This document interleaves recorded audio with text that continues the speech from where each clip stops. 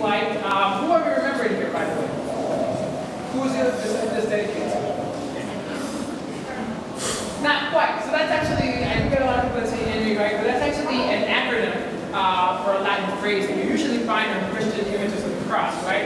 Um, this ofrenda is actually dedicated to the man you see in the photograph there. He was a professor at the University of Yucatan a long time ago. And this wow. that you see here before us is actually created by four current students of the university. And they came here, right, to display this ofrenda this year to show us a little bit about their very uh, specific traditions and their culture.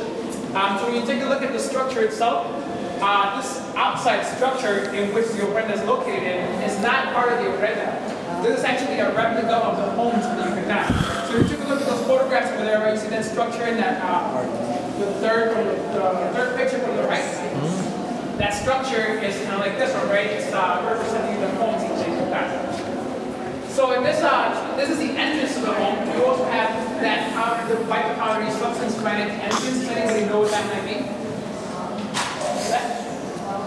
Not quite flour. Looks like it, right? It's actually cal or limestone. The limestone is placed along with incense, which would be located in those little, uh, those little ceramic uh, pots you see there. Um, the incense and uh, the limestone, the cal, is used to purify the spirits as they enter your home. Um, so you want the spirits to come into your home and be really at ease, right, in peace. Um, some people in the Yucatan believe that when you see streaks in the cal, that, that signifies that the spirits have entered your home. Um, so it's a kind of a physical representation of the spirits. Hmm. Um, now, I do want you guys to uh, notice one more thing at least, and this uh, that's the candles, right? The candles are very traditional throughout ofrendas, but here they play a, uh, kind of a second role, where the color of the candles actually tell you who the ofrenda is dedicated to. So we already talked about how it's dedicated to this man right? Who is who would be, who would be considered an adult. Um, so you see the candles out here, they're very bland, right? They're very dull colors, black and white. Take a look behind us at this painting, and somebody describe to me the color of the candles you see there. They're bright colors, right? Exactly. You have bright blues, bright greens, bright reds, right? So if these, if these candles show you that it's dedicated to an adult, what would those signify? Yes. Child. Kid, right, exactly, for child. And they'll print that dedicated to a child. So then take a close look at the second level here. And notice that all the way on your left over there, you see two candles, right? What color candle, what color are those candles?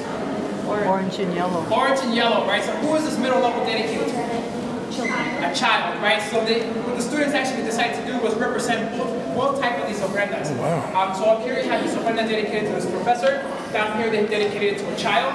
And all the food that you see in the second level is actually all candy from the Yucatan. And it's all candy that comes directly from fruits, so it's not manufactured candy, it's all natural candy. Oh, wow. So again, showing you a little bit about you know the, the, the nature aspects that are found in the Yucatan, and uh, yeah, they're just trying to they try to put things that everybody has access to, right? So things that everybody can get and put it in the I do want to mention one last thing, and that's the cross, right? Um, somebody already uh, saw it before, they saw the inscription on it. What do we typically think of when we see a cross? Right. Catholicism, right? Maybe Christianity. Uh, who could tell me where these religions come from? What part of the world? Europe. They're, they're European, right? They're very European ideas. Uh, so it's very curious that we have a cross being the main focus of this ofrenda, which comes, it's a native ritual of the Mayans, right? Um, so it starts, you get to thinking, right? Well, why is it right there? Why is it such a focus? Uh, but what happened in Mexico in the 1500s? The, the conquest of Mexico by Spain, right? Along with all the people and all their other ideas, they brought Christianity over, right? Religion.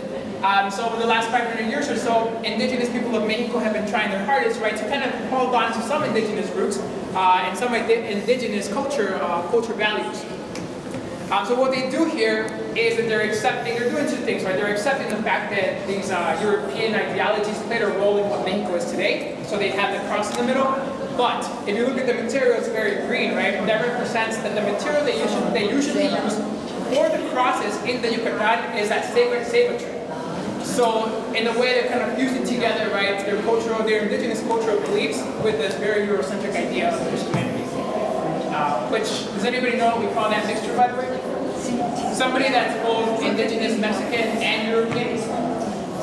Mestizo, right, exactly. So mestizaje. This idea of mestizaje is very much present right there. Does anybody have any last questions about this?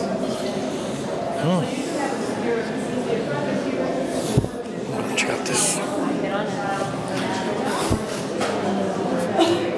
Mm, All right, we're at the uh, we're at the uh, the calendar right here. Check this out.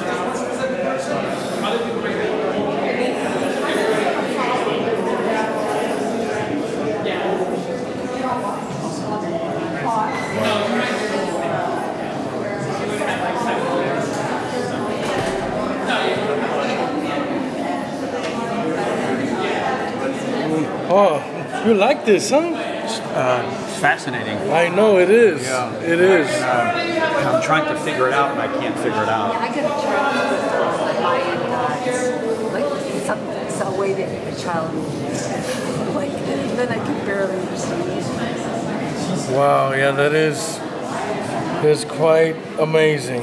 Yeah, it, I'm trying to figure out where the start is, but I can see the footprints going in this direction. But the, you notice the names and the numbers change, Yeah. going all the way around here. You have the sun here, which is, I guess, the center, Yeah.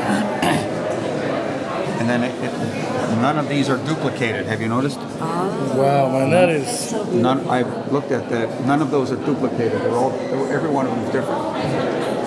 And you can notice the the end and the, the start and the end.